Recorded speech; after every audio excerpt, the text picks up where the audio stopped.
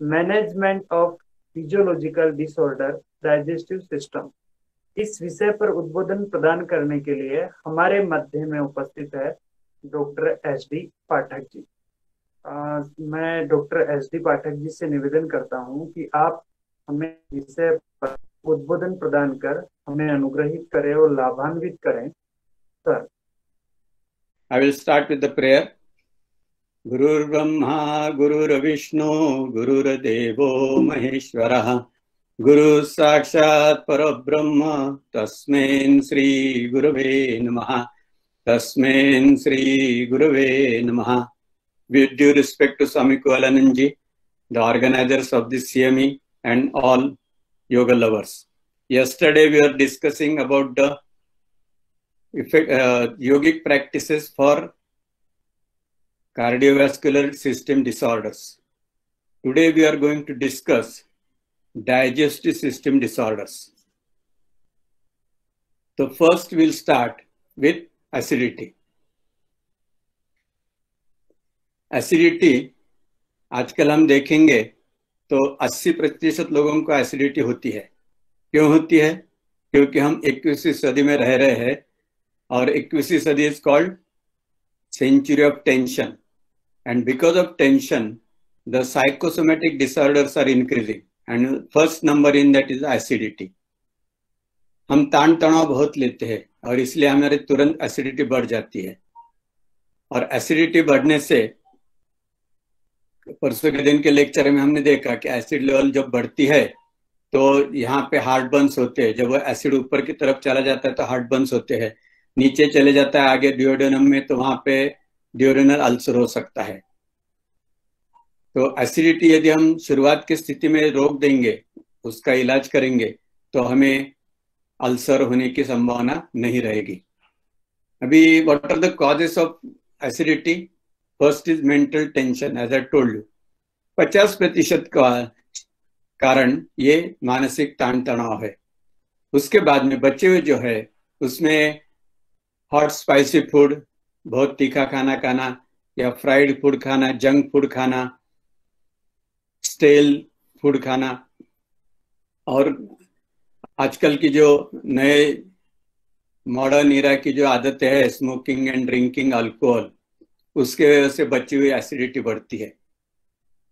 यदि एसिडिटी कम करना है तो हमें पहले योग का अभ्यास करेंगे। योग का अभ्यास करेंगे तो वहाँ पे हम ओंकार गायत्री करेंगे क्रिया योग करेंगे, मन शांत करेंगे, विचार रहित करेंगे तो 50 प्रतिशत एसिडिटी वहाँ पे कम हो जाती है। और फिर योगिक डाइट का हम योगिक डाइट जो है उसको फॉलो करेंगे। स्पाइसी नहीं खाएँगे, सात्विक फ़ूड खाएँगे तो आहिस्ते आहिस्ते वो भी एसिडिटी कम हो जाती है। और फिर समझो कुछ बच गई तो उसके लिए हमने जल धोतिया वमन बताया था। अभी एसिडिटी के सिम्टम्स क्या है? लक्षण? पेन इन अपर एब्डोमेन, ऊपर के पेट में, नाभि के ऊपर का जो पेट का हिस्सा है, वहाँ पे हमें दर्द होता है, जलन होता है। फिर जलन ज़्यादा मात्रा में होने लगी तो फिर, कई बार ऐसा होता है कि हम क्या करेंगे क्या करेंगे सोचते हैं। तो फिर कुछ खा लेते हैं, कभी पानी पी लेते हैं, कभी दूध पी लेते हैं। तो जब खाने से कभी कभी दर्द कम हो जाता है।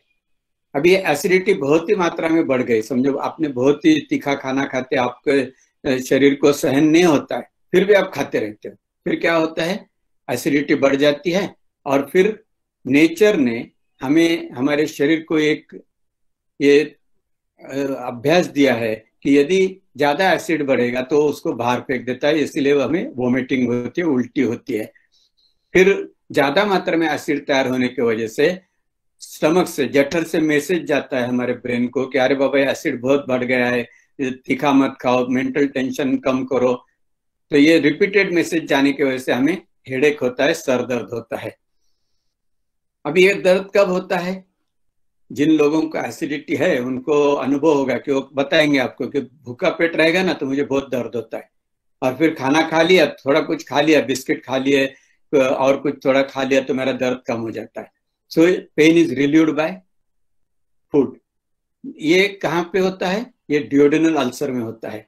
अभी एसिडिटी जब बढ़ती है तो ये जठर का अंदर का मैं आपको बता रहा हूँ। इतना मुलायम इतना मुलायम होता है कि जब हम ऑपरेशन करते हैं ऑपरेशन करते समय यदि हम इस म्यूकोजा के, आवरण के ऊपर हमारा हाथ ऐसा रगड़ा तो वहाँ पे खून आना चालू हो जाता है। इतना डेलिकेट है। तो आप सोचो कि आप तीखा खाएँगे, जंक फ़ूड खाएँगे तो क्या हाल होता होगा? अभी एसिडिटी बढ़ेगी तो ये एसिड यहाँ पे आ जाएगा तो हमें हार्ट बर्न होते हैं। और ये पायलोरस है, ये बाजू स्टमक है, ये बाजू डिओडेनम है। ये साइड में एसिडिक मीडियम है एसिड होने की वजह से। ये बाजू अल्कलाइन मीडियम है। ये एसिड जब ये लाइन क्रॉस करके यही बाजू आता है तो वहाँ पे करोजो एक्शन होता है अल्सर होता है। जब एसिडिटी यहीं पे ज़्यादा देर बढ़ी रहेगी तो फिर क्या होता है कभी कभी यहाँ पे भी अल्सर होता है। उसको क्या कहते हैं? गैस्ट्रिक अल्सर और समझो यहाँ पे हो गया तो उसको कहते हैं, ये पार्ट का नाम क्या है? ड्यूडेनम सो इसको कहते हैं ड्यूडेनल अल्सर सो एसिडिटी यदि ज़्यादा दिन तक रही तो कुछ दिन के बाद हमें गैस्ट्रिक अल्सर होता है या ड्यूडेनल अल्सर होता है। अभी इसमें दो फ़र्क कैसे आप समझ सकते हैं? एज ए योगा टीचर यदि पेशेंट कहेगा कि मुझे बहुत जलन होती है एसिडिटी है, और फिर कुछ खाएगा तो दर्द कम हो जाता है। तो उसका मतलब एक तो उसको एसिडिटी है, और ज़्यादा मात्रा में हो गए होगे तो ये डिओडेनल अल्सर है, क्योंकि खाने के बाद उसका दर्द कम होता है। लेकिन जो आदमी को खाने के बाद दर्द बढ़ जाता है, उसका मतलब उसको यहाँ पे अल्सर क्योंकि यहाँ से खाना आया तो इसके तो ऊपर घसेगा तो उसको ज़्यादा दर्द होता है। सो जो पेशेंट को कुछ खाने के बाद दर्द कम होता है तो वो डिओडेनल अल्सर हो सकता है, जिसको ज़्यादा होता है, वो गैस्ट्रिक अल्सर हो सकता है। तो ये उसके लक्षण है। ये स्टमक है, यहाँ पे हो गया तो गैस्ट्रिक अल्सर यहाँ पे डिओडेनम में होगा तो उसको कहते हैं डिओडेनल अल्सर अभी इसके कॉम्प्लिकेशंस क्या है? कॉम्प्लिकेशंस अभी यहाँ पे अल्सर हो गया। तो क्या होगा? आपको कहीं पे हाथ पे मार लग गया, घाव हो गया। कुछ दिन के बाद घाव भर जाता है कि नहीं? भर जाता है तो क्या होता है? वहाँ पे स्कार आता है, घाव हो जाता है, वर्ण होता है, व्रण होता है। क्यों? क्योंकि वो जगह अकुड़ जाती, सिकुड़ जाती है, अकुंचन होती है। उसी प्रकार यहाँ पे यदि अल्सर हो गया तो ये अकुंचन हो जाएगी और ये रास्ता छोटा हो जाएगा। तो ये काफ़ी दिन तक चले रहेगा तो आहिस्ते आहिस्ते छोटा छोटा होते होते फिर क्या होता है एक दिन, ये रास्ता एकदम वन फोर्थ हो जाता है। तो उसको कहते हैं पायलोरिक स्टिनोसिस तो ये एक कॉम्प्लिकेशन हो गया। पायलोरिक स्टिनोसिस पहला तो बताया आपको कि गैस्ट्रिक अल्सर यहाँ पे हो गया तो यहाँ पे हो गया तो डिओडेनल अल्सर और इसमें ये रास्ता छोटा होते गया कॉन्ट्रेक्शन होते गया तो एक दिन हो जाएगा उसको पायलोरिक स्टिनोसिस रास्ता छोटा हो गया। फिर दूसरा और क्या कॉम्प्लिकेशन हो सकता है? हिमेटेमेसिस मतलब खून की उल्टी होना। अभी खून की उल्टी कैसी होती है? अभी यहाँ पे समझे अल्सर हो गया या यहाँ पे अल्सर हो गया। तो अल्सर मतलब क्या? There is a breach in continuity मतलब जो ऐसा सरफेस है, इसमें थोड़ा कुछ तो भी छेद हो गया। तो यहाँ पे छेद हो गया, समझो कि यहाँ पे छेद हो गया तो क्या होगा? इसके नीचे क्या है? आवरण के नीचे रक्तवाहिनी है, शुद्ध रक्तवाहिनी, अशुद्ध रक्तवाहिनी।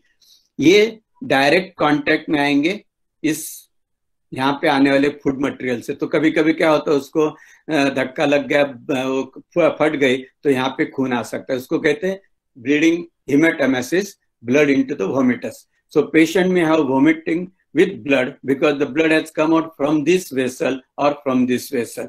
अभी ये हो गया दूसरा complication pyloric stenosis and haematemesis अभी ये जो पेशेंट है ये कॉम्प्लिकेटेड पेप्टिक अल्सर जो पेशेंट है, उनको active medical line of treatment की ज़रूरी होती है। अभी हम एलोपैथी में क्या ट्रीटमेंट देते हैं? एलोपैथी में हम क्या करते हैं? ब्लैंड डाइट खाने को देते बिना तिखा खाने का नॉन स्पाइसी फ़ूड खाने का, और फिर दारू, बीड़ी, सिगरेट, तंबाकू नहीं लेने का। एंटासिड देते हैं हम, जेलूसिल या डाइजिन। एंड इससे भी राहत नहीं मिली तो फिर हमको उसका ऑपरेशन करना पड़ता है। जिसको ऑपरेशन करने के बाद में वो जो अल्सर यहाँ पे हुआ था, वो एरिया हम उसको रेस्ट देते हैं तो उसको दो दो तीन प्रकार के ऑपरेशन होते हैं। अभी इसमें एक और चीज़ ध्यान में रखने लायक है, ये जब ट्रीटमेंट करेंगे तो आपको मालूम होना चाहिए गैस्ट्रिक अल्सर जो है, यहाँ पे जो होता है, ये थोड़ा नटोरियस है, ये कैंसर में बदली हो सकता है। इसीलिए कोई भी एसिडिटी के पेशेंट को हम योग का थेरेपी दे सकते हैं, लेकिन जिसको पक्का अल्सर है तो गैस्ट्रिक अल्सर होगा तो वो कैंसर हो सकता है, इसलिए उसको हम योग की थेरेपी में ऐसा नहीं कह सकते हाँ ठीक है, तुम योगा में आ जाएगा, सब कुछ अच्छा हो जाएगा। यदि गैस्ट्रिक अल्सर का पेशेंट है तो हम उसको योगा का अभ्यास दे सकते हैं, मगर उसको हर तीन महीने को गैस्ट्रोस्कोपी जो दूरबीन से तपास करते हैं, उससे ये अल्सर की साइज़ देखना ज़रूरी है। क्योंकि ये साइज़ यदि बढ़ गई तो वो कैंसर में बदली हो सकता है। और आप उसको देते रहेंगे योग का अभ्यास और वो बोलेगा, अरे, मैं तो योग का अभ्यास करता था, और फिर मुझे कैंसर हो गया। तो इसीलिए क्या गैस्ट्रिक अल्सर का पेशेंट होगा तो उसको डॉक्टर के पास ही इलाज करना ज़रूरी है। ड्यूडेनल अल्सर का पेशेंट होगा, यहाँ पे कुछ स्टिनोसिस नहीं है ब्लीडिंग नहीं है तो हम उसको योग का अभ्यास दे सकते हैं। अभी क्या क्या योग के अभ्यास दे सकते हैं हम? तो सबसे पहले हमने परसों दिन लेक्चर में देखा था कि वमन धोती इज़ द बेस्ट वमन धोती दे सकते हैं या दंड धोती दे सकते हैं, जो उसको आसानी से कर सकता है। अभी ये कब करने का बताया है? सवेरे उठते क्यों बताया? क्योंकि रात में हम खाना खाते सो जाते हैं, अन्न जो खाता है पचन हो जाता है, और रात के दो बजे के बाद में जठर में क्या बचता है? जो ज़्यादा मात्रा में एसिड है। उसकी लेवल जब सवेरे छह बजे तक मैक्सिमम हो जाती है, उस समय यदि हम पाँच छह गिलास पानी पीते हैं, उसको डाइल्यूट करते, निकाल देते तो हमें एसिडिटी की तकलीफ़ नहीं होगी। अब ये कितने बार करना है? तो हफ़्ते में एक बार करना है, ये पंद्रह दिन में दो बार करो, या कभी आप खाना खाने के लिए गए कहीं पे और बहुत ज़्यादा तीखा था ऑयली खाना था, आपको बहुत यहाँ पे हार्ट बर्न हो रहा है मतलब एसिडिटी बढ़ गई है तो फिर हम धोती कर सकते हैं। अभी ये जहाँ पे एसिड तैयार हो गया था, उसको हम निकाल दिया। लेकिन ये एसिड कम करने की प्रक्रिया भी तो करना चाहिए ना। जैसे फायर है फायर में आप पानी डालोगे और तेल डालोगे तो आग बुझेगी क्या? नहीं बुझेगी ना। तो आपको पानी भी तो डालना है लेकिन ऑयल जो डालते हो बंद करना है। तो उसी प्रकार अभी चठर में एसिड कहाँ से तैयार होता है? तो यहाँ से मेंदू से यहाँ पे इंफॉर्मेशन जाती है। हम तीखा खाना खाते हैं, उसके वजह से ज़्यादा एसिड तैयार होता है उसको पचन करने के लिए। So we are to reduce that तो at mental station what will do will do प्राण धारणा देन विल डू अनुलोम विलोम, ओंकार, गायत्री, इससे मन शांत हो जाएगा। यदि मन शांत हो जाएगा तो सिंपथेटिक एक्टिविटी कम हो जाएगी। पैरासिम्पथेटिक एक्टिविटी बढ़ेगी एड्रेनलिन सिक्रेशन कम हो जाएगा एसिड सिक्रेशन कम होगा और फिर हमें एसिडिटी नहीं होगी। तो ये फ़ायदा हमें योगिक प्रैक्टिस से हो सकता है। उसमें और हम उज्जय का अभ्यास दे सकते शीतली का अभ्यास दे सकते जिसके ज़रिए हमारा मन शांत होने को मदद हो जाती है। अभी कपाल भाती, अभी कुछ क्रिया जो है, वो पूरे शरीर के सभी सिस्टम सही ढंग से काम करने के लिए उसको ऑक्सीजन सही ढंग से मिलना चाहिए। अभी ऐसा है कैस, मिल सकता है तो कपाल भाती से मिल सकता है। लेकिन कपाल भाती जब अल्सर का पेशेंट है तो जठर में जब अल्सर है यहाँ पे अल्सर है और वो कपाल भाती करेगा तो ये पेट के ऊपर प्रेशर आएगा तो कभी कभी तकलीफ़ हो सकती है। इसलिए हम क्या कहते हैं कि लाइट कपाल भाती without forceful exhalation and give it as per as the patient's capacity without forceful exhalation and slowly to increase as per capacity दस बीस स्ट्रोक से शुरू कीजिए आहिस्ते आहिस्ते हम बढ़ा सकते हैं। फिर बाकी जो क्रिया है, मंत्र चैंटिंग उससे मन शांत होता है। मेडिटेशन उससे और लाभ होता है, ताकि हमारा मन पूरा शांत हो जाएगा तो एड्रेनलिन सिक्रेशन कम हो जाएगा एसिडिटी कम हो जाएगी। फिर हमें एक ही एंगल से नहीं देखना है तो पूरे शरीर की फ्लेक्सिबिलिटी भी मेंटेन करना चाहिए, उसके लिए हम थोड़े आसन देंगे उसको। जिस, जो आसन करने से उसके पेट के ऊपर ज़्यादा तनाव नहीं आएगा, लेकिन पूरे शरीर की फ्लेक्सिबिलिटी मेंटेन की जाएगी। तो उसमें हम क्या देंगे? आसन, तीन round Pawan muktasana with one leg दोनों लेग का नहीं देने का साथ में। पर्वतासन ताड़ासन चक्रासन क्रोकोडाइल पोजेस पीठ के ऊपर लेट के दोनों पैर घुटने में मोड़ के, दोनों लेफ़्ट साइड गर्दन राइट साइड फिर opposite side this way you can do so this will help to maintain the flexibility of the human body पहले लास्ट टाइम हम बताया कि योग ये होलिस्टिक अप्रोच है it takes care of all systems of the body इसीलिए मुझे acidity है तो फिर मैं सिर्फ़ मेडिटेशन करेगा, सिर्फ़ धोती करेगा, बाकी कुछ नहीं करेगा तो ऐसा नहीं चलेगा। उसको सभी योग मॉड्यूल जो है, जो बताया गया, वो आहिस्ते आहिस्ते अपनी क्षमता के अनुसार करना है।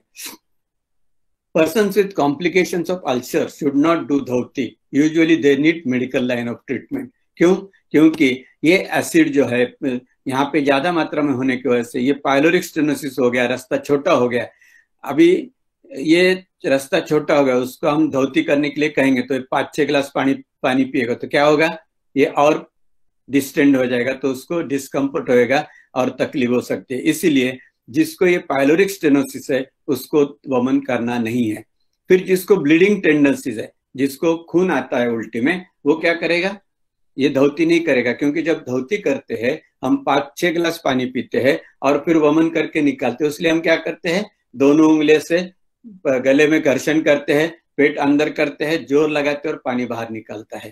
तो ये ज़ोर लगाने से नस और फट सकती है और और खून आ सकता है। इसीलिए जिनको पायलोरिक स्टेनोसिस है या जिनको ब्लीडिंग टेंडेंसी है, वो लोग धोती नहीं करेंगे। वो क्या करेंगे? सिर्फ़ दो गिलास पानी पीना सवेरे और एक घंटा या चालीस मिनट कुछ नहीं लेना। जो ड्योरनल अल्सर है, पक्का ड्योरनल अल्सर है, हमें पता नहीं है कि वो कौन से स्टेज में है, कि उसने पूरा ये आकुंचन करके पायलोरिक स्टेनोसिस हो गया है का ये मालूम नहीं है। इसीलिए जिन पेशेंट को पायलोरिक स्टेनोसिस नहीं है, लेकिन ड्योडनल अल्सर है या गैस्ट्रिक अल्सर है, ऐसे लोगों को हम थोड़ा प्रिकॉशन लेके ही योग का अभ्यास देंगे। उनको कहेंगे कि आप गैस्ट्रोस्कोपी बिकॉज़ ये दोनों ही पेशेंट दूरबीन से तपास करके आते हैं तो उनको गैस्ट्रिक गैस्ट्रोस्कोपी हर तीन महीने में, छह महीने में करना चाहिए, या कभी ज़्यादा कुछ तकलीफ़ हो गई तो तुरंत ये करना चाहिए और योग का अभ्यास बंद कर देना चाहिए। धोती के बाद में जब आप पेशेंट को वमन करने के लिए कहेंगे तो दो प्रिकॉशंस आपको लेना है। एक, कि उसको ब्लड प्रेशर है क्या? डायबिट ब्लड हार्ट अटैक आया था क्या? इसके बारे में हम उसकी इंक्वायरी करेंगे। इसलिए यहाँ पे बताया हमने, धोती देना है तो विदाउट एनी कॉन्ट्राइंडिकेशन मीन उसको हाई ब्लड प्रेशर है हार्ट अटैक है, लेकिन एसिडिटी है तो फिर हम उसको धोती नहीं दे सकते। तो उसको धोती नहीं देंगे। तो पहले ये पूछना ज़रूरी है एसिडिटी का है पेशेंट भाई। लेकिन आपको ब्लड प्रेशर है क्या हार्ट अटैक आया था क्या, ये होगा तो उसको वमन नहीं देंगे। अभी बच्चे, और एक चीज़ बहुत महत्वपूर्ण है वेरी सिंपल चीज़ है। कई बार नए नए योग टीचर रहते हैं, और इंतजाजम में रहते हैं एसिडिटी का पेशेंट आ गया, चलो धोती करो कल से, धोती बताते, कर देते। दूसरे दिन वो पेशेंट दौड़ के आते सर सर, उल्टी में खून गिरा के डर जाता है। वो तो इसीलिए ये क्यों हो गया? एक तो बहुत सिंपल चीज़ है। नाखून बड़े होंगे। यदि नाखून बड़े होंगे और वो वमन के लिए स्ट्रगल करेगा तो ये जो नाखून है, गले के पीछे के आवरण को ये हार्म करेगा और वहाँ से खून आता है। तो ये एक हो गया। इसलिए जब वमन करने के लिए किसी को कहेंगे आप तो उसको पहले नेल ट्रिम किया कि नहीं, देखना ज़रूरी है। दूसरी बात, उसको ब्लड प्रेशर है क्या हार्ट अटैक आया क्या, वो पूछना है। तीसरी बात, यदि आप उसको वमन करने के लिए कहेंगे बेहतर है कि आप आपके सामने करने लगाए यदि नहीं तो उसको ये कहना है कि पानी पिया और फिर घर्षण करके पानी निकालने की कोशिश की। पाँच छह गिलास पानी पिया था, लेकिन एक ही गिलास निकला तो फिर और स्ट्रगल मत करो, और ज़ोर ज़ोर से ये मत करो। नहीं तो तकलीफ़ हो सकती है। तो ये प्रिकॉशन हमें ध्यान रखना है। फिर pyloric stenosis gastric ulcer gastric ulcer के पेशेंट को जितना हो सके उतना पूरी मात्रा में योग का अभ्यास देंगे, लेकिन वमन नहीं देंगे। वमन क्यों नहीं देंगे? क्योंकि usually this ulcer gastric ulcer is associated with chlorhydria मतलब हाइड्रोक्लोरिक एसिड वहाँ पे कम रहता है या ज़ीरो रहता है। अभी ऐसे गैस्ट्रिक एसिड अल्सर के पेशेंट को यदि हम वमन देंगे तो जो बचा हुआ एसिड वो भी निकल जाएगा तो उसका पचन जो है वो खराब हो जाएगा। इसीलिए गैस्ट्रिक अल्सर के पेशेंट को वमन कभी भी हमें देना नहीं है। तो ये सब हो गया एसिडिटी के बारे में।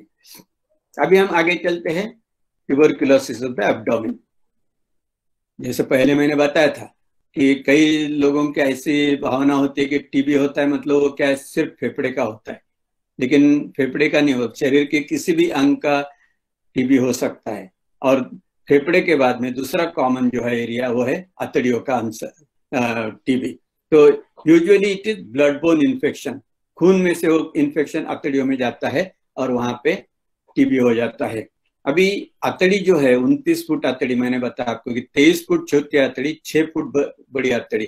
तो यूजुअली छोटी अतड़ियों में टीबी ज़्यादा मात्रा में होता है, जहाँ पे छोटी अतड़ी और बड़ी अतड़ी जुड़ती है, उसको कहते हैं आइलियोसिकल जंक्शन ये आइलियोसिकल जंक्शन पे वहाँ पे टीबी ज़्यादा मात्रा में होती है वहाँ पे क्या होता है? अभी ट्यूबरकुलोसिस का अल्सर हो जाता है। अल्सर हो गया तो ये जो अतड़ी है अल्सर हो गया, ये जब घाव भरेगा तो क्या होगा? रास्ता छोटा हो जाएगा। तो इसको कहते हैं स्ट्रिक्चर अभी स्ट्रिक्चर हो गया। अभी अतड़ियों के इसमें स्ट्रिक्चर हो गया। ये जो हमारा अन्न है, अभी यहाँ पे समझो, ये आइलियोसिकल जंक्शन यहाँ पे यूजुअली ज़्यादा मात्रा में टीबी होता है। अभी समझो ये अतड़ी के यहाँ पे अल्सर हो गया। ये अल्सर जब घाव भरेगा तो क्या होगा? वो रास्ता छोटा हो जाएगा। यदि वो रास्ता छोटा हो गया, फिर हमने खाना खाया, वो जठर में आया, फिर पचन होकर आगे चले आएगा, आगे आएगा, यहाँ तक आ जाएगा तो वहाँ पे रुक जाएगा। क्यों? क्योंकि वो रास्ता छोटा हो गया। अभी हम ऐसी मात्रा में ज़्यादा बार बार खाते रहेंगे तो क्या होगा? ये फैलते जाएगा, फूलते जाएगा, और उसको कहते हैं इंटेस्टिनल ऑब्स्ट्रक्शन तो ये ऑब्स्ट्रक्शन हो सकता है। इसीलिए टीबी के पेशेंट को पहली तो बात यह है कि एंटी टीबी ट्रीटमेंट लेना है। अभी ये इसमें स्ट्रिक्चर होगा, ये रास्ता छोटा हो जाएगा, फिर ये पीछे जमा होने की वजह से डिस्टेंशन हो जाएगा। और समझो अब ध्यान नहीं दिया और खाते रहे तो क्या होता है? ये यहाँ पे फट जा सकता है, उसको कहते हैं परफोरेशन तो ये कॉम्प्लिकेशन ट्यूबरकुलोसिस से हो सकते हैं। इसीलिए हमें ध्यान देना है कि पेशेंट को तुरंत योग के वर्ग में नहीं लेना है, उसकी पूरी हिस्ट्री आपको मालूम होना चाहिए, क्या हुआ था, क्या ट्रीटमेंट दी थी ऑपरेशन किया था, क्या ऑपरेशन में क्या निकला था, आतड़ी फट गई थी क्या आतड़ी नैरो हो गई थी स्ट्रिक्चर हो गई थी, फिर वो उतना हिस्सा काट के हम जोड़ दिए थे क्या, उसको कहते रिसेक्शन एनास्टोमोसिस ऐसा कुछ किया है कि उसके पहले जानकारी लेना ज़रूरी है।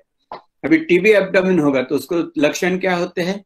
लो ग्रेड फीवर भूख नहीं लगती है उल्टी होती है, पेट फूल जाता है और कॉन्स्टिपेशन होता है। क्योंकि ये जो आगे का हिस्सा है, ये बंद होने की वजह से यहाँ से ये आगे जाता ही नहीं अन्ना फिर यहाँ पे दो चार दिन के बाद क्या होता है, पूरा खाली हो जाता है। तो फिर टॉयलेट होती नहीं, उसको कहते हैं कॉन्स्टिपेशन तो these are the symptoms of TB abdomen अभी टीबी एब्डोमिन ये पूरी नौ महीने की दवाई ली तो पूरी तरह से ठीक हो सकता है। It can be cured with nine months anti tuberculous line of treatment अभी पुराने जमाने में नौ महीने की ट्रीटमेंट देते थे, अभी चार महीने की, एक पेशेंट को छह महीने की होती है। लेकिन पूरी मात्रा में उसने यदि दवाई ली तो वो ठीक हो सकता है। मगर एलोपैथी ट्रीटमेंट नहीं लेना और फिर सिर्फ़ मैं योग का अभ्यास करूँगा, ठीक होगा, ऐसा नहीं हो सकता। So here it will be as a adjuvant therapy लेकिन टीबी एब्डोमिन के पेशेंट को हम योगा कितने इससे दे सकते हैं तो उसके बारे में थोड़ा हम सोचेंगे। अभी पेट में तकलीफ़ हो गई है। ये पेट के आतड़ी जो है, यहाँ पे सब खराबी हो गई सब स्ट्रिक्चर हो गया है फूल गया, ये हो गया। तो ऐसे पेशेंट को पेट के ऊपर कोई भी आसन का, क्रिया का ज़्यादा असर नहीं होगा, वही अभ्यास हम दे सकते हैं। तो पहले क्या हम देंगे? प्राण धारणा लाइट कपालभाती क्योंकि अगेन पेट के ऊपर प्रेशर आ सकता है फोर्सफुल एक्सलेशन की कपालभाती करेगा तो और आहिस्ते आहिस्ते उसके स्ट्रोक्स हम बढ़ा सकते हैं। फिर अनुलोम विलोम, ओंकार, Gayatri this will help to heal the body क्रिया योग का जो अभ्यास देते हैं हम केवल धाम में, ये बॉडी हीलिंग के लिए बहुत अच्छी तरह से उसका उपयोग होता है। फिर उज्जयी, शीतली मेडिटेशन अभी आसनों का अभ्यास कौन सा देंगे हम?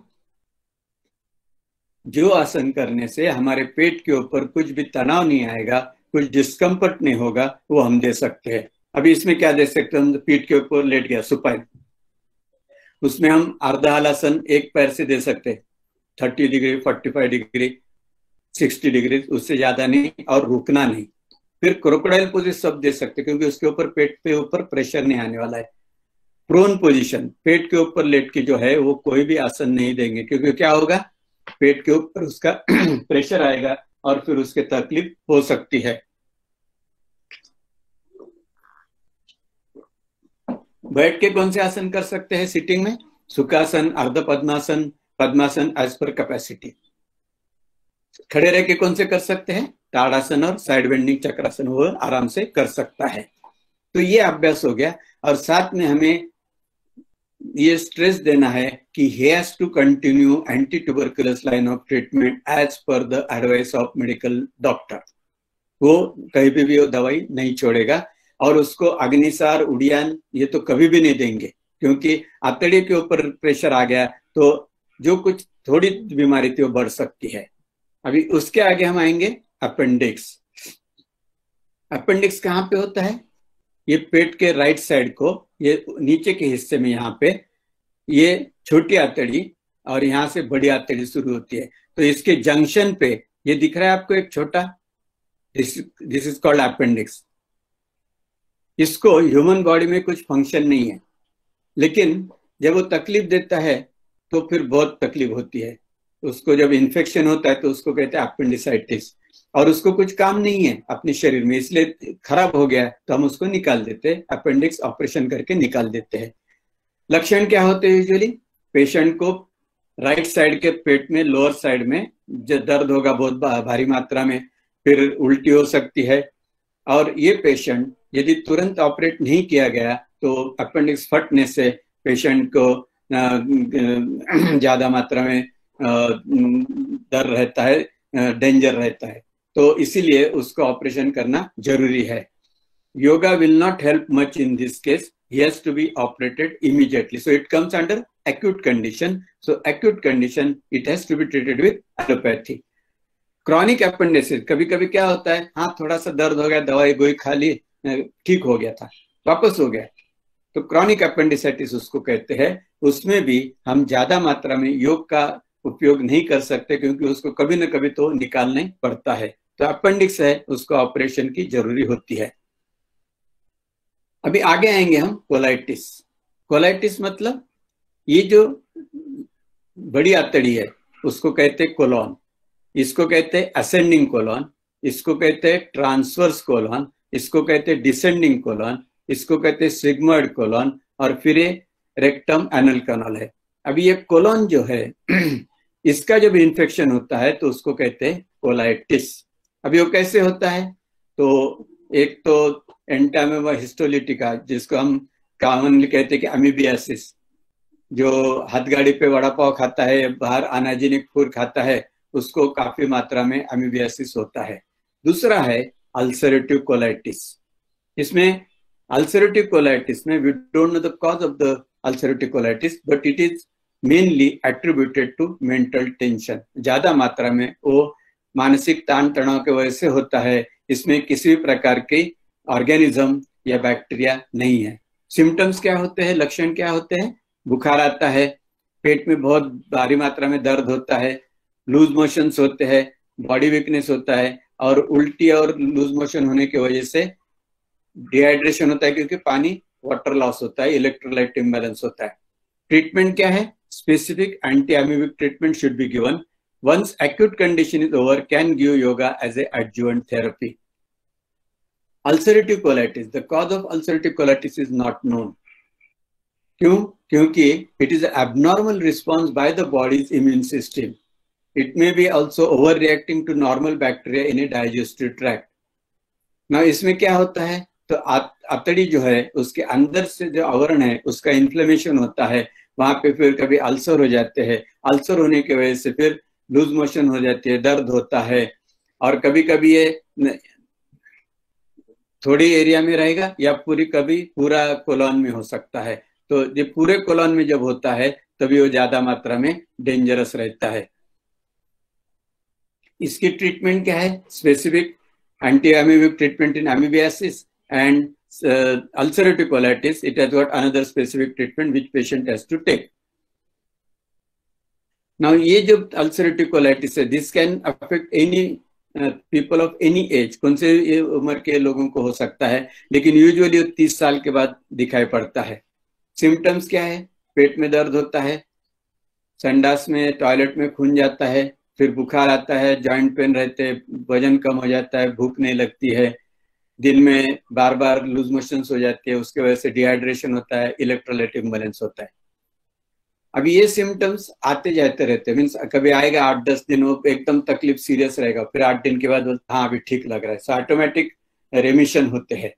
डायग्नोसिस उसका यूजुअली दूरबीन का तपास करके हो जाता है और बायोप्सी करके उसका कंफर्मेशन होता है। ट्रीटमेंट उसको specific medical line of treatment लेना है।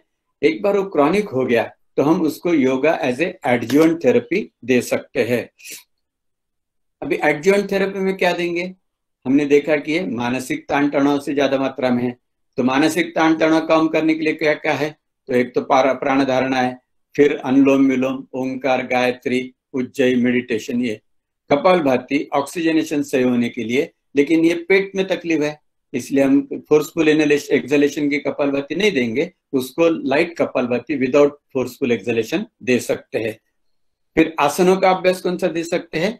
जो आसन हमारे पेट के ऊपर प्रेशर नहीं लाएँगी पेट के ऊपर तनाव नहीं करेगी आतड़ियों के ऊपर तनाव नहीं होगा, वो आसन कर सकते क्यों करना है? क्योंकि हमें we have to maintain the flexibility of the other part of the body तो उसमें क्या दे सकते हैं हम? क्रोकोडाइल पोजिस दे सकते हैं अर्धा आसन दे सकते हैं। पेट के ऊपर किसी भी प्रकार का आसन हमें देना नहीं है। सुखासन अर्ध पद्मासन पद्मासन एज पर कैपेसिटी स्टैंडिंग में हम ताड़ासन और साइड बेंडिंग चक्रासन दे सकते हैं। अभी आप कभी पूछेंगे कि भुजंगासन दे सकते हैं क्या? शलभासन दे सकते हैं क्या? तो ये आसन में पेट के ऊपर प्रेशर आता है और फिर तकलीफ़ हो सकती है, इसलिए हम ये आसन नहीं देंगे। अगला प्रॉब्लम है डायरिया मतलब लूज मोशंस। ये कभी कभी क्या होता है, फ़ूड पॉइजनिंग की वजह से होता है, या कभी बहुत स्पाइसी खाया तो होता है। This comes under acute condition.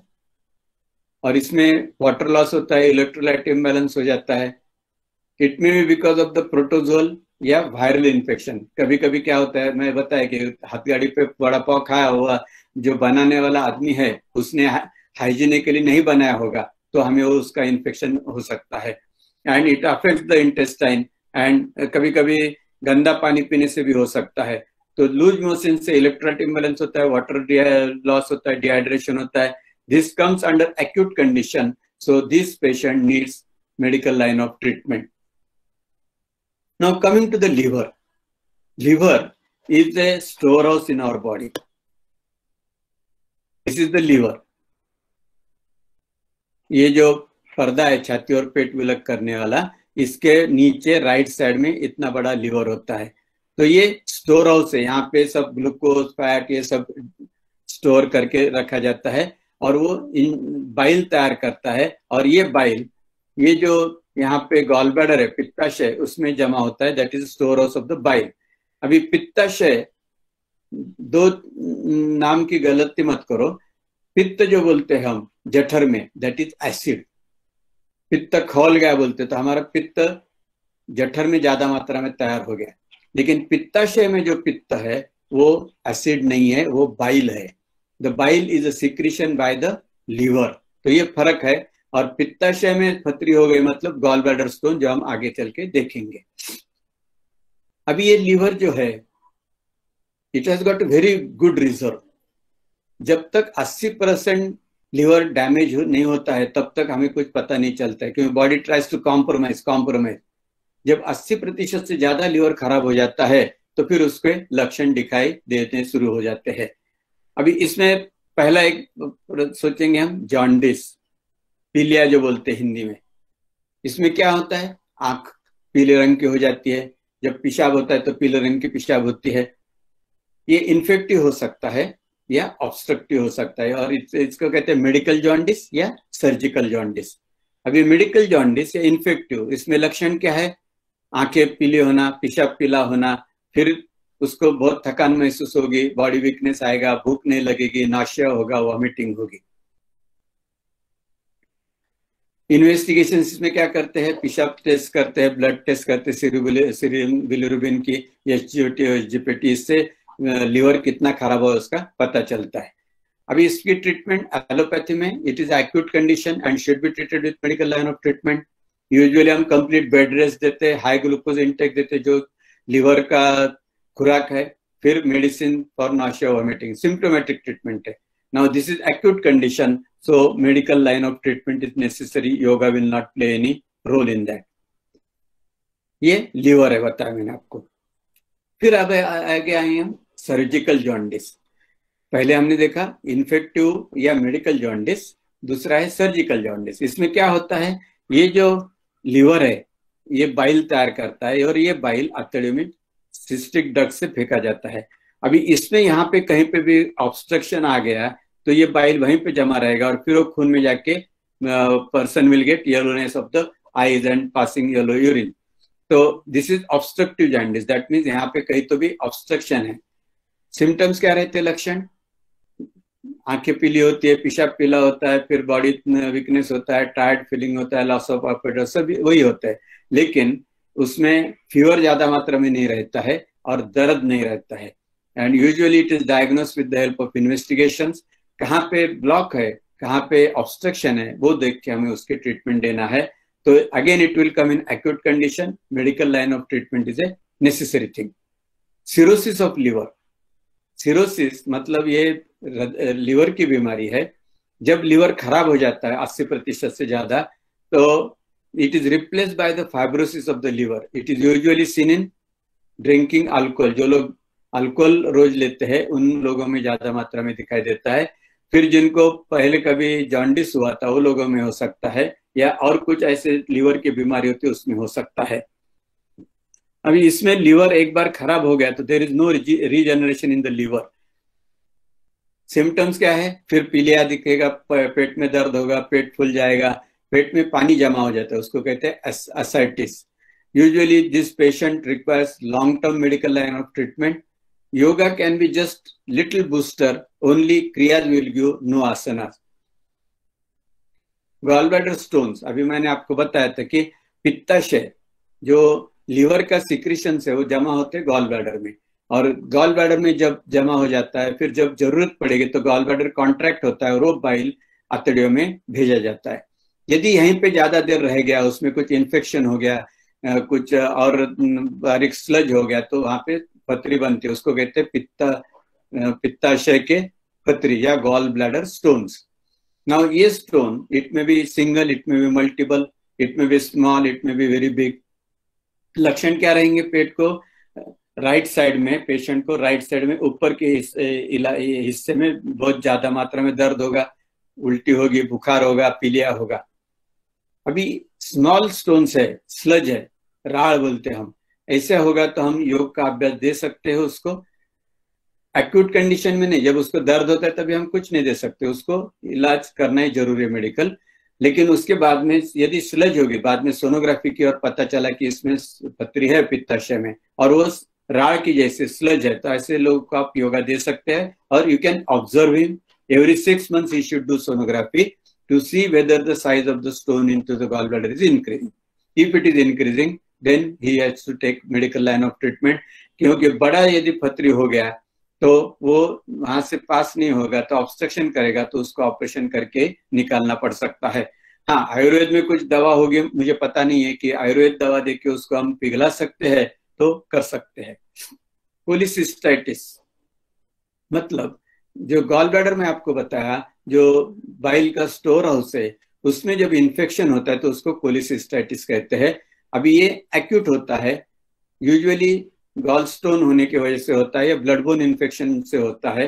Patient को राइट साइड में बहुत ज़ोर से दर्द होगा, उल्टी होगी, बुखार रहेगा, पीलिया होगा। और जब हम तपास करेंगे और सोनोग्राफी करेंगे तो हमें उसका डायग्नोसिस निदान हो सकता है। ये एक्यूट कंडीशन में आता है, इसीलिए उसको medical line of treatment is must ये गॉल ब्लैडर है पित्ताशय तो पहले पिक्चर में नहीं दिखा पाया मैं आपको। ये लीवर है और ये पित्ताशय गॉल ब्लैडर है। अभी यहाँ पे जो बाइल तैयार होता है, ये बाइल यहाँ से, इस नली से ये गॉल ब्लैडर में आता है, यहाँ पे स्टोर किया जाता है। जब ज़रूरत होती है, जब खाना खाते हैं हम, खाना खाने के बाद, दो घंटे के बाद, जब यहाँ का जो खाना है, वो आगे चले जाता है यहाँ पे, तभी यहाँ से ये गॉल ब्लैडर कॉन्ट्रैक्ट होता है और बाइल यहाँ से इस नलिका से आतड़ियों में भेजा जाता है। अभी जो ऑब्स्ट्रक्टिव जॉन्डिस सर्जिकल जॉन्डिस आपने देखा, हम अभी पढ़ाई किया, उसमें क्या है? ये मार्ग में यदि कुछ कंकर होगा स्टोन होगा तो क्या होगा ब्लॉक हो जाएगा। और फिर बाइल आगे जाएगा नहीं, उसको कहते हैं सर्जिकल जॉन्डिस या ऑब्स्ट्रक्टिव जॉन्डिस जब इसका इन्फेक्शन होता है गॉल ब्लैडर का तो उसको कहते हैं कोलिसिस्टाइटिस आगे जाएँगे हम hepatoma liver hepatoma means liver का कैंसर लीवर का cancer is usually seen in the patients who had some liver disease in the past जब जिसको कभी पहले कुछ लीवर की बीमारी हुई थी, ऐसे लोगों को कभी कभी लीवर का कैंसर हो सकता है। इसमें तकलीफ़ क्या रहेगी? लक्षण क्या रहेगी? राइट साइड के लीवर कहाँ पे है? छाती और पेट अलग करने जो डायफ्राम है, उसके नीचे राइट साइड में लीवर है तो वहाँ पे दर्द हो सकता है, फिर उल्टी रहेगी। जॉन्डिस रहेगा, किसी भी लीवर की बीमारी में पेशेंट को पीलिया रहेगा, क्योंकि लीवर काम नहीं करता है बराबर। फिर एनीमिया रहेगा, खून की कमी हो जाएगी, पेट फूल सकता है, भूख नहीं लगती है, वज़न कम होता है जनरल वीकनेस होता है।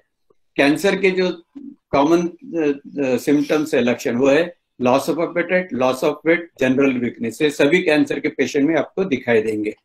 अभी ये कैंसर है तो इसको मेडिकल लाइन ऑफ़ ट्रीटमेंट लेना ही ज़रूरी है। अभी उसको यूजुअली ऑपरेशन वगैरह नहीं करते हैं, क्योंकि लीवर काफ़ी बड़ा है और लीवर का सर्जरी अभी चालू हुआ है दस पंद्रह साल से, लेकिन थोड़ी मात्रा में करते ज़्यादा मात्रा में नहीं करते हैं। Medical line of treatment and yoga can be adjuvant but it cannot cure the patient आपको ये पेशेंट के रिलेटिव्स को बताना चाहिए कि ये योगा करेगा, लेकिन उससे ठीक होगा, इसकी हम गारंटी नहीं देते। क्योंकि they should not be under false assumption कि अभी योगा कर रहा है तो ठीक हो जाएगा। ऐसा नहीं होता है। पैंक्रियाटाइटिस स्वादुपिंड, ये जो है दिस इज़ कॉल्ड पैंक्रियाज ये जठर है, जठर के पीछे यहाँ पे रहता है स्वादुपिंड that is called pancreas which secretes insulin insulin controls blood sugar level और हमें डायबिटीज़ नहीं होता है। जब इसका इन्फेक्शन होता है तो उसको कहते हैं पैंक्रियाटाइटिस अब ये क्यों होता है? तो जो लोग रोज अल्कोहल कंजम्पशन करते हैं, उनको होता है, जिनको लॉन्ग स्टैंडिंग डायबिटीज़ है, उनको भी कभी कभी हो सकता है। या जब भी ये गॉल ब्लैडर में स्टोन है तो ये यहाँ पे आके ये नली ब्लॉक कर दिया तो यहाँ से जो इंसुलिन तैयार तो आगे नहीं आएगा, पीछे जमा रहेगा और फिर उसको वहाँ से भी पैंक्रेटाइटिस हो सकता है। No pancreatitis is acute condition so patient needs medical line of treatment जब वो क्रॉनिक हो जाता है जब वो चलने फिरने लगता है लेकिन क्रॉनिक पैंक्रेटाइटिस है तो डायबिटीज़ है तो फिर ऐसे इसको हम योगा एडजुएंट थेरेपी करके दे सकते हैं with cancer of the intestines. It can affect any part of the intestine, starting from stomach, oesophagus से लेके अन्न नलिका से जठर ड्यूडेनम छोटी आतड़ी बड़ी आतड़ी ascending colon transverse colon descending colon sigmoid कोनल rectum anal canal कौन से भी किसी भी एरिया को कैंसर हो सकता है? यूजुअली सिम्टम्स क्या रहेंगे? लक्षण क्या रहेगी? उसको लॉस ऑफ़ वेट रहेगा लॉस ऑफ़ अपेटेट रहेगा ब्लीडिंग पर रेक्टम रहेगा इंटेस्टिन ऑब्स्ट्रक्शन हो सकता है। Now this patient needs allopathic line of treatment, whether it is surgical, whether it is chemotherapy, radiotherapy, whichever it may be. Yoga can be only as adjunct therapy to boost the moral to face the disease. Patient will be having little better mental setup that he will face it the consequences or complications of cancer when he gets the cancer disease. Especially relatives should be told that he may not get cured from cancer, but only get moral boost with the help of yogic practices. Now अभी yogic practices क्या दे सकते हैं हम पहले तो mental tension कम होना है उसका तो इसलिए प्राण धारणा उज्जयी अनुलोम विलोम ओंकार गायत्री शीतली प्राणायाम and meditation shavasana that will be helping and फिर कुछ आसन जो उसकी फ्लेक्सिबिलिटी मेंटेन करने के लिए और पेट के ऊपर जिसका किसी का ऊपर प्रेशर नहीं आएगा only to improve the flexibility we will give the आसन उसमें भी हम देख, पेट का है तो फिर हम प्रोन पोजिशन में कोई भी आसन नहीं देंगे। सुपाइन में सिर्फ़ क्रोकोडाइल देंगे, अर्धाल आसन देंगे एज पर इस कैपेसिटी सिटिंग में सुखासन दे सकते हैं अर्धा पद्मासन पद्मासन एज पर इस कैपेसिटी स्टैंडिंग में ताड़ासन साइड बेंडिंग चक्रासन दे सकते हैं। ऐसे पेशेंट को हम भुजंगासन श्वानासन या शलभासन ये हम नहीं देंगे एक तो पेट के ऊपर प्रेशर आएगा और फिर यदि ये कैंसर शरीर के दूसरे इलाके में फैल गया होगा हाथ के हड्डी में फैल गया होगा और फिर वो भुजंगासन करेगा तो उसको फ्रैक्चर हो सकता है now most common nowadays is the constipation, Baddha Koshtata. What is? Difficulty in passing motion at regular time or retention of fecal matter in rectum for prolonged time. जब भी हम रोज सवेरे हमें मोशन नहीं होती है, दो दिन में, तीन दिन में एक बार जाते हैं। ऐसे कई पेशेंट में देखे कि वो तीन दिन में एक बार जाते हैं, चार दिन में एक बार जाते हैं। तो दैट इज़ कॉल्ड कॉन्स्टिपेशन और आयुर्वेद शास्त्र कहता है कि सर्वजोग जायंते प्रजायंते मल संचया सभी बीमारी का जड़ जो है, मल संचय में है, बद्धकोष्ठता में है। और कॉन्स्टिपेशन हम डेफिनेटली पूरी मात्रा से योग के ज़रिए क्योर कर सकते हैं। अभी उसके कारण में कौन सा क्या है? Non availability of the toilet shift duty low roughage diet low water intake कई लोगों को आदत होती है पानी बहुत कम पीते हैं। तो पानी का जो हमारा इनटेक है इट शुड बी नॉर्मल वो हम कैसे जान सकते हैं? यदि हमको टट्टी जो होती है एकदम कड़क होने लगी या पेशाब कड़क होने लगे तो इसका समझ लेना हमने कि कल हम 24 घंटे में पानी कम मात्रा में पिया है। क्योंकि जब पानी कम मात्रा में पीते हैं तो शरीर में जो 70 75 परसेंट पानी है that level has to be maintain फिर नेचर क्या करता है कि किडनी में से जो पेशाब तैयार होते तो वहाँ पे पानी रोक लेता है। जब अतड़ियों में मल जमा हो जाता है यहाँ पे यहाँ पे जब मल जमा होता है तो उसमें जो पानी उसको खींच लेता है, इसलिए मल कठिन हो जाता है। तो ये मल संचय दूर करने के लिए हम डेफिनेटली अभ्यास कर सकते हैं। एलोपैथी में क्या देते हैं हम? एलोपैथी में हम उनको लैक्सेटिव देते हैं। इसके कॉम्प्लिकेशंस क्या है कॉन्स्टिपेशन के? जब कठिन मल बाहर आता है घस के तो वहाँ पे फिशर इन एन हो सकता है या ब्लीडिंग पाइल्स हो सकते हैं।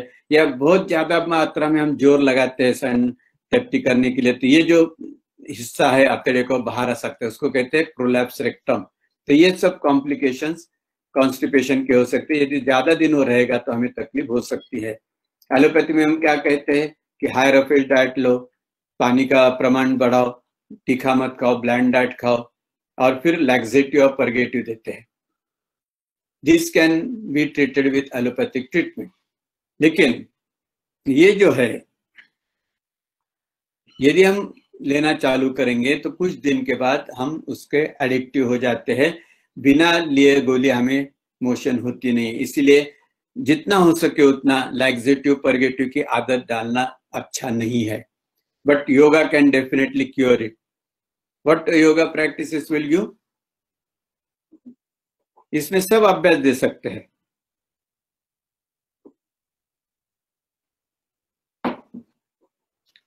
सुपाइन पोजीशन की जितने भी आसन आपको मालूम है, वो दे सकते हैं। सिर्फ़ उसमें देखना है कि उसको कुछ कॉन्ट्राइंडिकेशन है क्या। मतलब पेट का कुछ ऑपरेशन हुआ होगा, इसके बाद में माला संचय होता होगा तो फिर हम पेट के ऊपर के आसन नहीं दे सकते। That you have to see according to the patient लेकिन जिसको सिर्फ़ शिफ्ट ड्यूटी या नॉन अवेलेबल टॉयलेट इसकी वजह से कॉन्स्टिपेशन हुआ होगा, और किसी प्रकार का ऑपरेशन नहीं हुआ है ब्लड प्रेशर नहीं है हार्ट अटैक नहीं है उसको हम ये पूरा मॉड्यूल दे सकते हैं। प्रोन पोजीशन में भुजंगासन, नौकासन, धनुरासन दे सकते हैं। सिटिंग में वज्रासन वज्रासन, पर्वतासन, गोमुखासन, वक्रासन, ये सभी आसन का अभ्यास हम उसको दे सकते हैं। स्टैंडिंग में ताड़ासन, चक्रासन, त्रिलोकासन, त्रिकोणासन दे सकते हैं। प्राणायाम में अनुलोम विलोम, उज्जयी, शीतली, शीतकारी और ब्राह्मणी ये सभी अभ्यास वो रेगुलर करेगा तो आहिस्ते आहिस्ते उसका बद्ध कुष्ठता दूर हो सकती है। उसमें महत्वपूर्ण एक है, वो जो है, शंख प्रक्षालन। यदि शंख प्रक्षालन का अभ्यास अभी यदि हम देते हैं तो सभी आतड़े की साफ़ सफ़ाई होगी, उसका बद्ध कुष्ठता दूर होने को मदद हो जाएगी। शुद्धि क्रिया में हम कपाल भाती अग्निसार अग्निसार से बद्ध को राहत मिलती है, लेकिन अग्निसार करने के लिए उसको पेट का ऑपरेशन हुआ है कि नहीं, वो देखना ज़रूरी है। हार्ट अटैक, ब्लड प्रेशर है कि नहीं, वो भी देखना ज़रूरी है। यदि ऐसी कुछ तकलीफ़ नहीं होगी तो हफ़्ते में एक दिन वो वमन धोती कर सकता है, रोज अग्निसार का अभ्यास कर सकता है, और एक महीने में एक बार लघु शंख प्रक्षालन या महाशंख प्रक्षालन कर सकता है, जिसके ज़रिए पूरी अतड़ियों के साफ़ सफ़ाई होगी और उसका बद्ध कुष्ठता से उसको आराम मिलेगा। मंत्र चैंटिंग में ओंकार गायत्री दे सकते हैं मेडिटेशन में आई क्लोजर टेक्निक ये भी हम दे सकते हैं। तो कॉन्स्टिपेशन एक ऐसी चीज़ है कि जो हम योग के ज़रिए पूरी मात्रा में ठीक कर सकते हैं। और एलोपैथी में उसके लिए कुछ खास दवा नहीं है। और जो दवा दी जाती है एडिक्टिव है, उससे आदत पड़ती है तो वो टालने के लिए हम योगा का अभ्यास उसको दे सकते हैं। अभी फिशर हो गया, बद्धकोष्ठता होगी तो क्या होगा? ये जो कठिन मल है,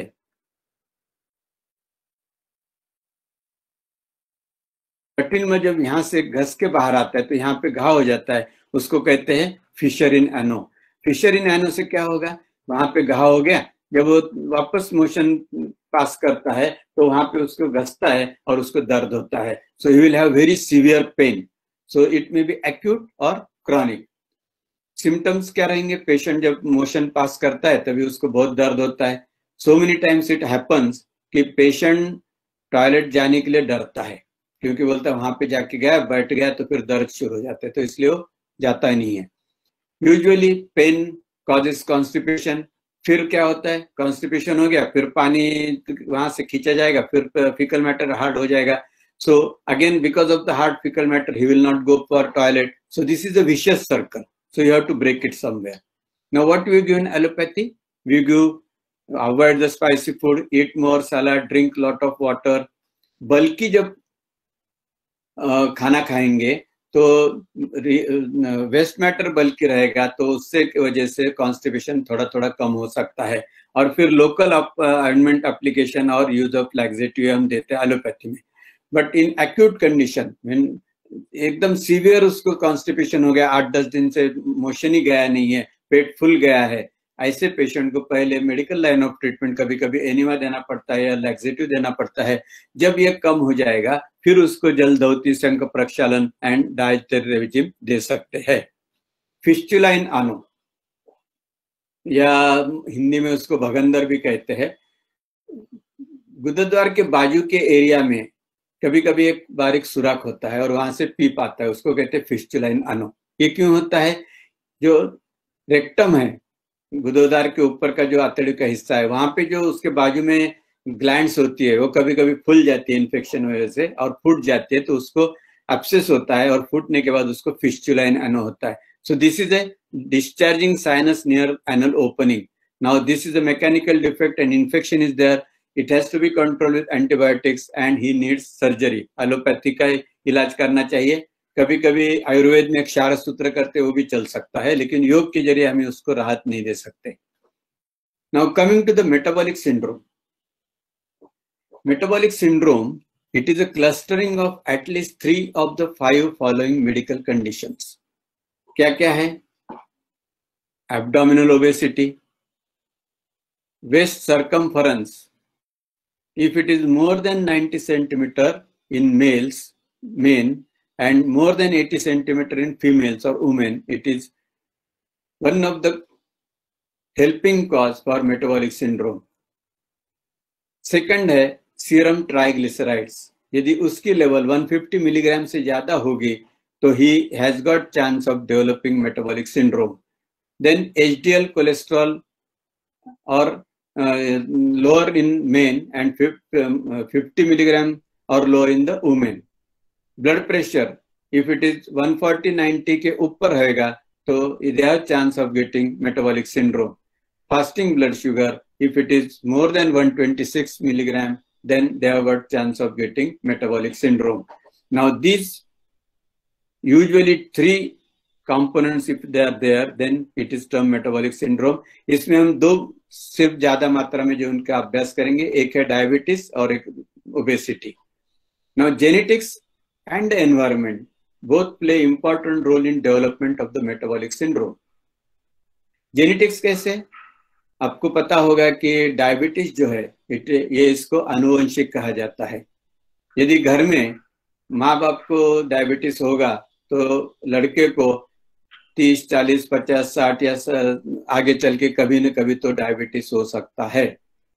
पचास या तीस प्रतिशत ऐसे लोग होंगे कि उनको डायबिटीज़ नहीं होगा, लेकिन काफ़ी मात्रा में इनको अनुवंशिकता आती है।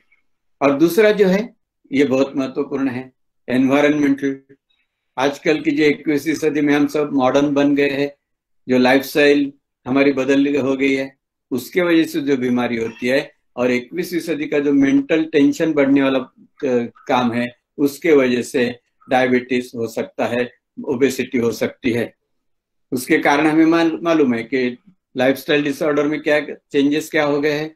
हम फ़िज़िकल एक्टिविटी कम हो गई है, फिर खाना ज़्यादा खाते हैं, काम नहीं करते हैं तो इसके वजह से ओबेसिटी बढ़ सकती है। Genetic factors influence a family history of diabetes obesity sedentary lifestyle high BP are more of developing metabolic syndrome अभी इसमें हम पहले लेंगे डायबिटीज़ डायबिटीज़ जब पैंक्रियाज इंसुलिन तैयार करता है, जो इंसुलिन जब खून में सर्कुलेट होता है तो वो जो पेशी के पास पहुँचता है तो जो खून में ग्लूकोज होता है, हमने खाना खाया, वो अन्न पचन हो गया, और जो ग्लूकोज ब्लड में से अतड़ियों से ब्लड ब्लड से लिवर लिवर से पेशी में जाता है तो पेशी में जाने के बाद पेशी को इंसुलिन कहती है कि ये तेरे काम की चीज़ें शुगर ग्लूकोज ले ले।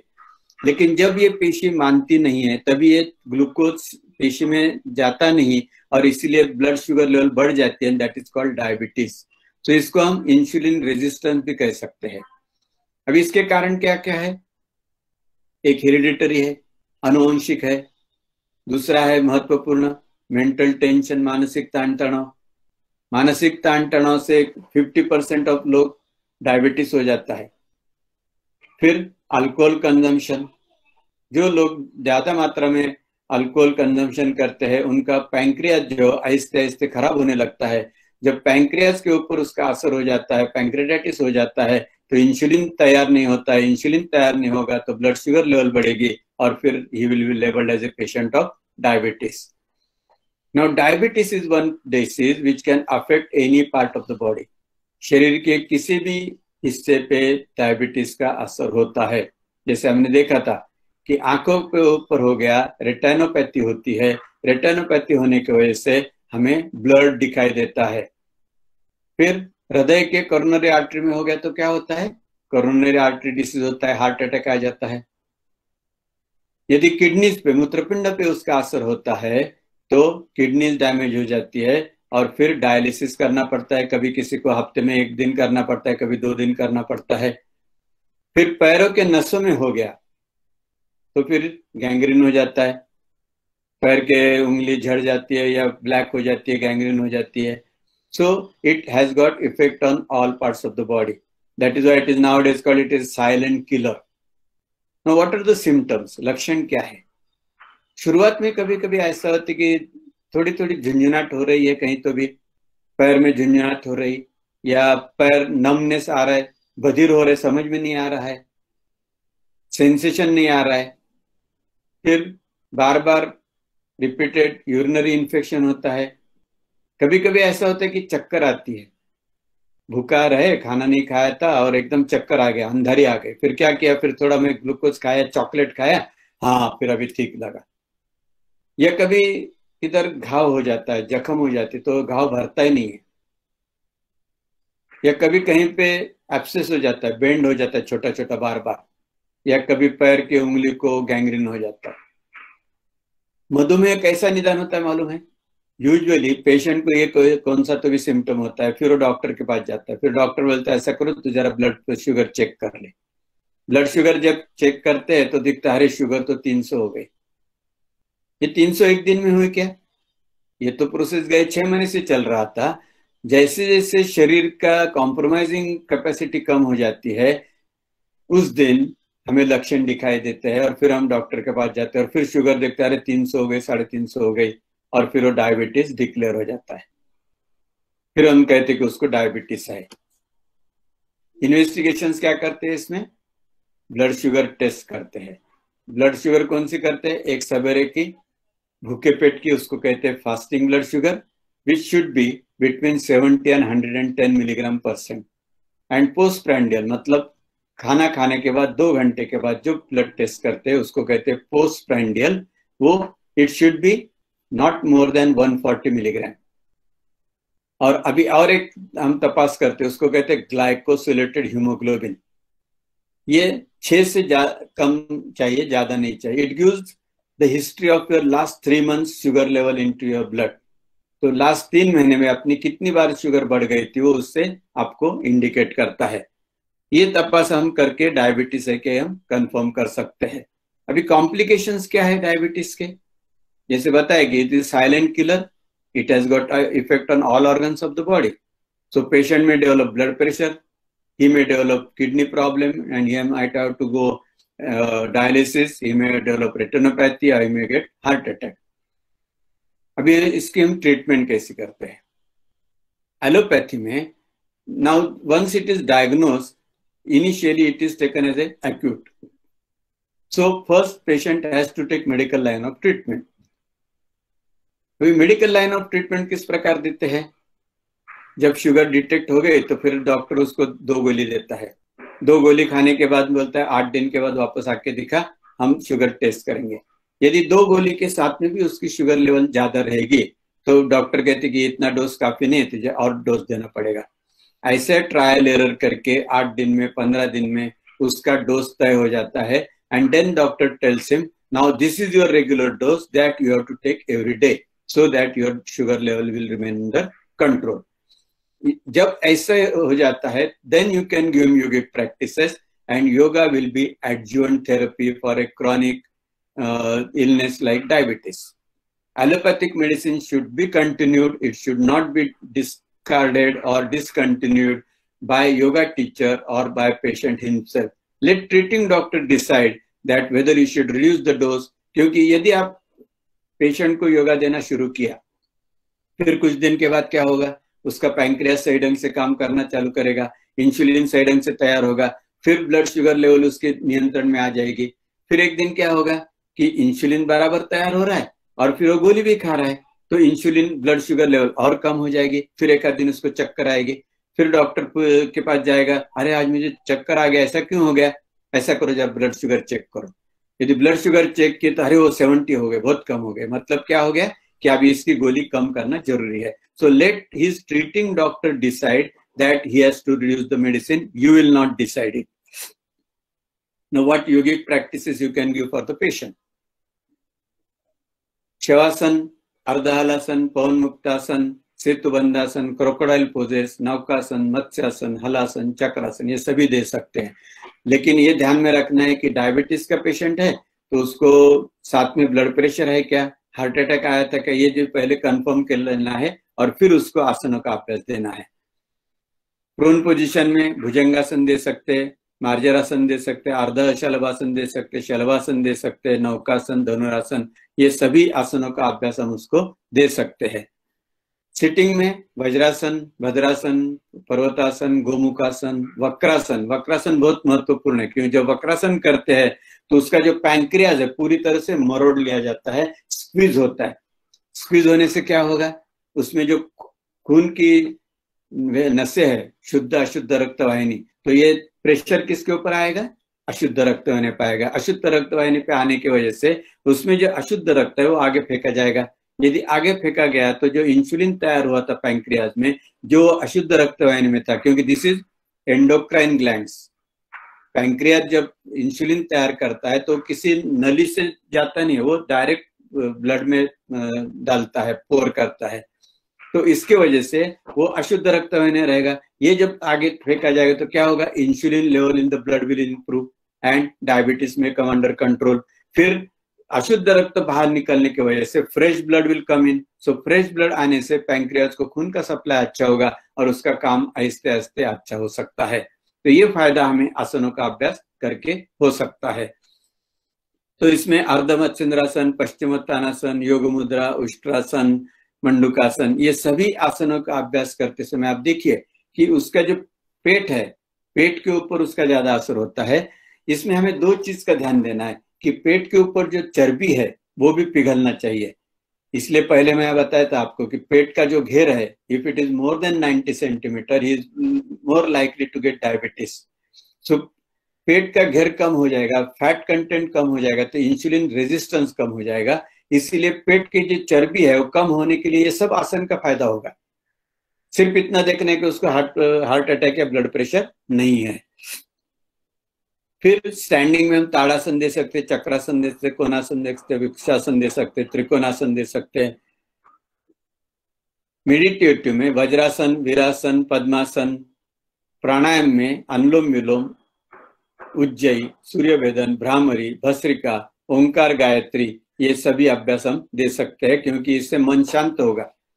आपने एक टर्मिनोलॉजी सुनी होंगी स्ट्रेस डायबिटीज़ यूजुअली स्ट्रेस आने से ब्लड शुगर लेवल बढ़ती है। तो ये स्ट्रेस कम हो गया तो शुगर लेवल नॉर्मल हो जाती है। तो ये स्ट्रेस डायबिटीज़ कम करने के लिए स्ट्रेस कम करना है। तो स्ट्रेस कैसे कम होगा? तो Omkar, Gayatri, anulom vilom and meditation that will help फिर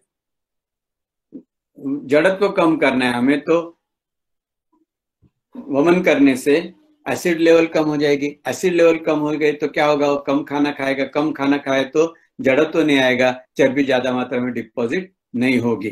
फिर अग्निसार, उड़ियान, ये तो बहुत महत्वपूर्ण है। दोनों भी हमें इसमें देना है, कपाल भाती भी देना है। तो ये अभ्यास करने से हम उसको एक इंसुलिन सही से तैयार होगा पैंक्रियास सही से काम करेगा। और फिर जो चर्बी है, वो पिघल जाने से इंसुलिन रेजिस्टेंस कम होगा। और आहिस्ते आहिस्ते उसकी गोलियाँ कम हो सकती है। अभी next metabolic syndrome is obesity अभी ओबेसिटी के कारण जो है, कारण मीमांसा ये जो नई लाइफस्टाइल है दिन भर कंप्यूटर के सामने बैठे रहते आठ आठ घंटा there is no exercise no movement at all खाने के इसमें हम कुछ कम किया है क्या? नहीं, खाना तो उतना ही खाते फिर क्या होगा? The input is not balance with the output जब ज़्यादा खाना खाते हैं और काम कम करते हैं तो जो एनर्जी रिलीज़ होती है, तैयार होती है, वो पूरी मात्रा में यूज़ नहीं होगी because you are not doing any activity so that energy is stored into the liver in the form of the fat. So कहाँ कहाँ पे होती है? तो सबसे पहले होती है पेट के सामने। चर्बी ज़्यादा मात्रा में बढ़ती है तो पेट आगे आ जाता है। फिर लिवर में हो जाती है तो फैटी इन्फिल्ट्रेशन होता है। फिर स्नायु के बीच में हो जाती तो स्नायु रिलैक्स हो जाते लिथर्जिक हो जाते लैक्स हो जाते कर्नोरिज में हो गए तो हार्ट अटैक आता है। तो ये सब नहीं होना चाहिए। तो क्या होना चाहिए? First thing we should have balance the input with the output वो कैसे हो सकता है? ओबेसिटी के जो पेशेंट रहते हैं, उनकी एक खासियत रहती है कि वो बोलते हाँ सब समझता है मुझे कि मैं ज़्यादा खाना खाता हूँ, काम नहीं करता तो मुझे ओबेसिटी होती है। लेकिन जब मैं डाइनिंग टेबल पे आके बैठता हूँ तो I can not control I can not resist तो ये हम योग के ज़रिए कर सकते हैं। तो पहले क्या करना है हमें? कि पहले उसके जो चर्बी ज़्यादा मात्रा में डिपॉजिट है, उसको हमें डिजोल्व करना है। So what will have energy expenditure so that we can do by doing all this asana again you have to remember that he should not have heart attack और ब्लड प्रेशर और he is so obese that he is not able to perform any asana because he should be comfortable while performing the asanas. अभी supine में हम ये सब दे सकते हैं। फिर फ्रोन में भुजंगासन, अर्धशलवासन, शलवासन, नौकासन, धनुरासन, कटीचक्र, लोलासन। ये एक अलग हम आसन कहते हैं। पेट के ऊपर लेटना है, दोनों हाथ पीछे बांधना है, इस प्रकार दोनों हाथ पीछे बाँध देना है और पेट के ऊपर हमें रोल होना है। तरफ़ लेफ़्ट साइड देन पूरी तरफ़ left side so your you are balancing your body on your tummy and just rotating like this so that is kati chakra lolasana it will help to reduce the abdominal fat then vajrasana bhadrasana parvatasana gomukhasana vakrasana ushtrasana yoga mudra ये सब sitting आसन हम दे सकते हैं। Standing में क्या कर सकते हैं? ताड़ासन, chakrasana, trikonasana, konasana kati chakrasana side bending that you can do meditative में पद्मासन। यूजुअली ये लोगों को पद्मासन नहीं जमेगा। सुखासन में बैठेंगे, अर्ध पद्मासन भी नहीं जमता है। तो फॉरगेट अबाउट इट उनको जो आसन में कंफर्टेबल है that asana you have to ask them to do don't make it compulsory नहीं नहीं, पद्मासन में बैठना ही है। प्राणायाम। प्राणायाम में अनुलोम विलोम, Ujjayi surya bhedan sheetali, sheetkari, bhramari, bhastrika they will help to improve the lung capacity then it will improve the mental status and meditation करने से उनकी जो आदत है वो आहिस्ते आहिस्ते बदली होने को मदद होती है। मुद्राज एंड बंधाज में, ब्रह्म मुद्रा, उड़ियान बंध, शुद्धि क्रिया में, kapal bhati agnisar if it is not usually obese patient, he might be having heart problem, he might be having high blood pressure, so पहले चेक करना है, अग्निसार दे सकते कि नहीं। जल नीति डेली देना है, क्योंकि नीति करने से नासिका मार्ग पूरा क्लियर होगा तो ऑक्सीजनेशन बराबर होगा। वमन if it is not contraindicated you can give it once in week once in week करेगा तो आहिस्ते आहिस्ते उसके एसिड लेवल कम हो जाएगी। एसिड लेवल कम हो जाएगा तो इंटेक कम हो जाएगा। इंटेक कम हो गया तो उसका वज़न कम हो सकता है। Mantra chanting Omkar, Gayatri and meditation meditation helps to improve the psychology of a given person Usually, they understand the effects of overeating but cannot resist from overeating when they are in the dining hall. One develops the control over temptations on the eating habits by practicing yoga. Yoga will help to develop the understanding to reduce the food intake, thus, reduction in the weight is possible. Now, coming to the hernia. Hernia is a protrusion of intestines through an opening. हमारे पेट के अंदर कितने,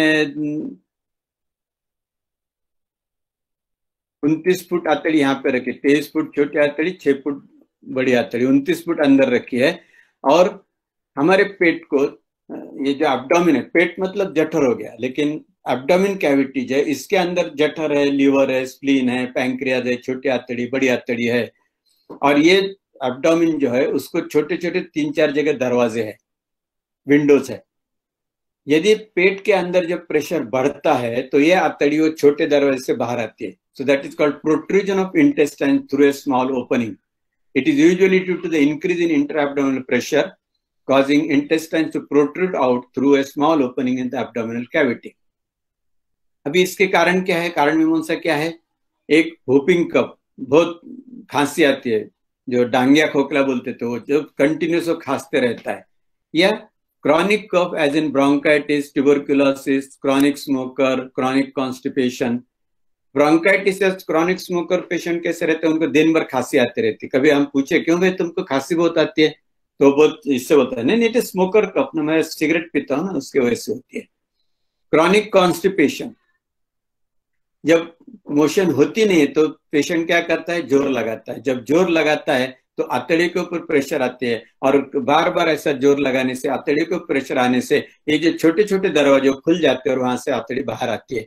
usually आपने देखा होगा और एक दूसरा है straining for passing urine due to prostate enlargement पुरुष में, पुरुषों में पचास साठ की उम्र के बाद में पेशाब के रास्ते पे एक गांठ होती है, उसको कहते हैं प्रोस्टेट जब वो बढ़ जाती है तो पेशाब के जो रास्ता है वो छोटा हो जाता है, उसमें से पेशाब जाने को तकलीफ़ होती है। It is called retention of urine अभी ये दोनों कॉन्स्टिपेशन या रिटेंशन ऑफ़ यूरिन उसके लिए वो क्या करेगा? ज़ोर लगाएगा। जब ज़ोर लगाएगा तो आतड़ी के ऊपर प्रेशर आएगा। आतड़ी के ऊपर प्रेशर आने से वो छोटे छोटे दरवाजे से बाहर जाने की संभावना होती है और हरनिया होता है। दूसरा, तीसरा कॉज है ओबेसिटी जब जड़त्व आता है तो शरीर के सभी एरिया में ज़्यादा मात्रा में चर्बी डिपॉजिट होती है। और जब चर्बी डिपॉजिट होते हैं तो सभी स्नायु शिथिल हो जाते हैं, लैक्स हो जाते हैं, और फिर उनका कॉन्ट्रेक्शन उनका पावरफुल नहीं रहता है, और फिर उससे हर्निया हो सकता है। अलग अलग प्रकार है हर्निया के। इंवाइनल जो नीचे के हिस्से में होता है, अम्बलिकल, जो नाभि से आता है, इपिगैस्ट्रिक, जो नाभि के ऊपर सेंट्रल लाइन में होता है, फिमोरल, जो से नीचे होता है, हायटस और incisional. Inguinal this is the most common usually आपको इंगवाइनल हरनिया ज़्यादा मात्रा में दिखेंगे। दोनों बाजू के नीचे के जांगों में छोटे छोटे ओपनिंग होते हैं। वहाँ से जो अतड़ी बाहर आती है, उसको कहते हैं इंगवाइनल हरनिया। नाभि से आती है, उसको अम्बलिकल हरनिया कहते हैं। इपिगैस्ट्रिक जो नाभि के ऊपर से आता है, उसको इपिगैस्ट्रिक कहते हैं। फ्यूमोरल और इंगवाइनल के थोड़ा नीचे रहता है। हायटस और इंसिजनल ये यहाँ पे जो है, ये नाभि है। यहाँ से आ गया तो अम्बिलिकल हरनिया हो गया। उसके ऊपर मिड लाइन में होगा तो उसको कहते हैं इपिगैस्ट्रिक हार्निया फिर ये छाती और पेट विलक करने जो डायफ्राम है, उसमें तीन छेद रहते जहाँ से ऊपर से बड़ी वाहिनी नीचे आती है अन्न नलिका आती है, वो अगले इसमें दिखाता हूँ मैं। फिर ये जो दो बाजू है, ये है इंग्वाइनल और उसके नीचे है फिमोरल ये डायफ्राम है, छाती और पेट विलग करने वाला। और यहाँ से अन्न नलिका नीचे आती है और ये आयोर्टा नीचे आता है और ये अशुद्ध रक्त यानी ऊपर जाती है। ये जो अन्न नलिका नीचे आती है, जो ओपनिंग रहता है डायफ्राम में, उसमें नीचे आती है। तो ये यदि स्नगली फिटिंग होगा विश्वपागत जो अन्न नलिका है, इसका ये छेद है डायफ्राम का, ये यदि फिट होगा बराबर तो यहाँ पे कुछ नहीं होगा। लेकिन वो ओबेसिटी की वजह से लैक्स हो गया तो क्या होगा? ये छोट, बड़ा हो जाएगा और फिर अन्न नलिका और ये छेद में जगह रहेगी उसमें से फिर अतड़ी पेट ऊपर जा सकता है, उसको कहते हैं हायटस हर्निया। तो ये सब हर्निया और फिर लास्ट बचा दो इंसिजनल हर्निया। पेट का जब ऑपरेशन करते हैं, हम पेट सिलाते हैं तो वो scar it becomes a little bit weak scar if it doesn't heal properly यदि हीलिंग बराबर नहीं होगा तो वहाँ से फिर अतड़ी बाहर आ सकते हैं, उसको कहते हैं इंसिजनल हर्निया। तो ये सब पाँचों टाइप की जो हर्निया है, वो सिम्टम क्या रहते हैं? There will be pain at the side जहाँ पे वो गुब्बारा जैसा सूजन आते हैं उसको, फिर स्वेलिंग रहेगा वहाँ पे, आतड़ी नीचे आएगी, उसको गर्गलिंग साउंड आएगा, फिर लेट जाएगा तो आतड़ी अंदर चली जाएगी। जब खांसी करेगा, ज़ोर लगाएगा तो सूजन बढ़ेगी सो जाएगा तो कम हो जाएगी। अभी इसमें ट्रीटमेंट क्या है? This is because of the mechanical defect because वो जो विंडो थी, वो बड़ी हो गई थी, इसलिए आतड़ी नीचे आ रही है। तो इसको हम योग के ज़रिए कुछ नहीं कर सकते, इसको ऑपरेशन ही करना ज़रूरी है। योगा कैनॉट क्योर इट कई बार ऐसा समझ होता है, लोग कहते गरुड़ासन देने से हरनिया ठीक हो जाएगा। आप गरुड़ासन में खड़े रहो और जब आप गरुड़ासन में खड़े रहेंगे, ये जो, ये पैर आपने ये बाजू ले लिया तो क्या होगा? यहाँ पे जो हरनिया नीचे आया था, आतड़ी ऊपर जाएगी तो टेम्पररी कम हो जाएगा। लेकिन जब पैर आप वापस सीधा करोगे तो ये आतड़ी फिर नीचे आएगी। So garudasana cannot be a treatment for hernia. It has to be operated और ऑपरेशन करने के पहले कभी कभी हम पूछते पेशेंट पूछते, सर, मुझे हर्निया है, छोटा है तो क्या करूँ? तो उसको हम क्रिया दे सकते हैं। कपाल भाती वगैरह या आसन कौन सा भी नहीं देना है, क्योंकि जिसके ज़रिए पेट के ऊपर प्रेशर आएगा और अतड़ी की साइज़ बढ़ जाएगी। और ऑपरेशन करने के बाद में भी कम से कम छह महीना उसने किसी भी प्रकार के आसन नहीं करना है या कपाल भाती नहीं करना है क्योंकि यदि प्रेशर आ जाएगा तो हर्निया वापस हो सकता है उसको कहते हैं रिकरेंट हर्निया